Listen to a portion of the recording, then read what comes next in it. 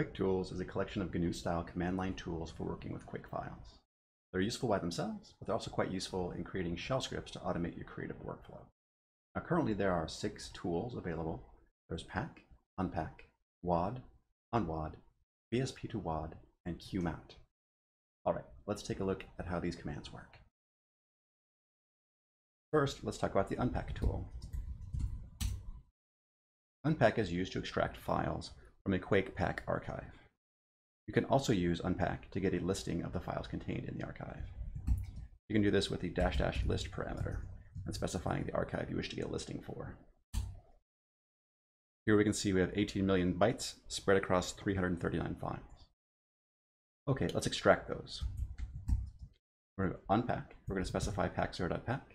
Optionally, I'm going to give it a dash d parameter to specify an out directory, which is going to be dot slash pack zero. And we've completed. We can change directories now to pack zero and do a directory listing. And there are the files that we expect to see. Next, let's talk about the pack tool. Pack is used to add files to a Quake pack archive. This can be done with pack, the name of the archive. So for our example purposes, let's call it example.pack. And then let's add the demo.cfg file to it. Okay, it's done. Now, if we use unpack to get a listing of our example pack file, we should see, yep, the demo CFG file is there. Next, let's talk about the unwad tool. Unwad is used to extract files from a Quake WAD archive. Note this is the WAD2 format, not the Doom WAD format. You can get a listing of a WAD file's contents using the dash dash list parameter. Note here I have three MIP textures in this particular WAD. We can also extract these contents, specifying the WAD file and an optional out directory, which I'm going to call out for simplicity. And I've extracted my three MIP textures as pings. Next, let's talk about the WAD tool. The WAD tool is used to add files to a Quake WAD archive.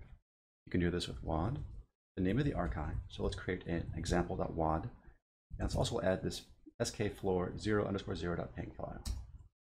The tool will automatically convert ping files into MIP textures. We can check this with unwad dash dash list example.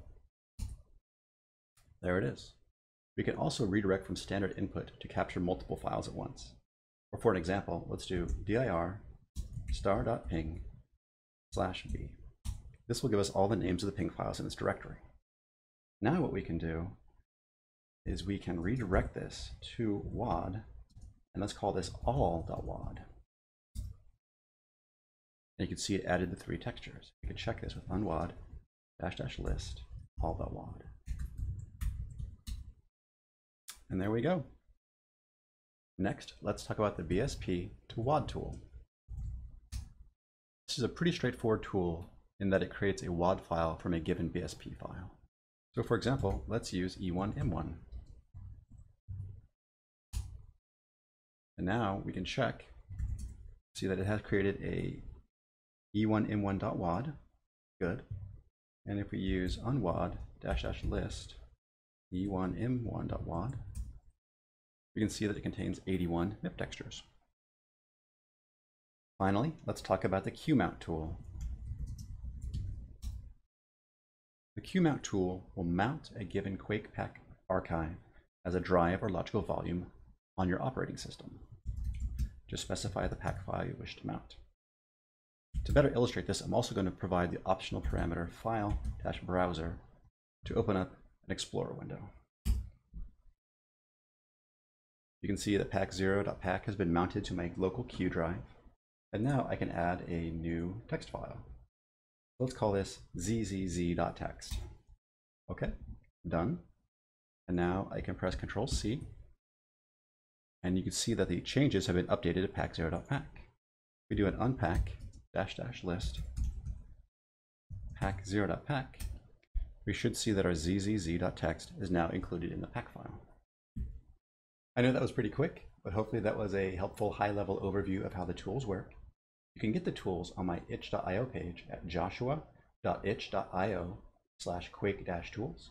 There you can download them for free, or if you want, you can give me a buck or two.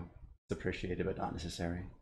It's also an open source project, which can be found on my GitHub page at github.com slash Joshua Skelly slash game dash tools. There, it's a part of a larger Python package for working with video game file formats. Also, don't worry about uh, writing all this down. It will be somewhere in the notes there, I promise.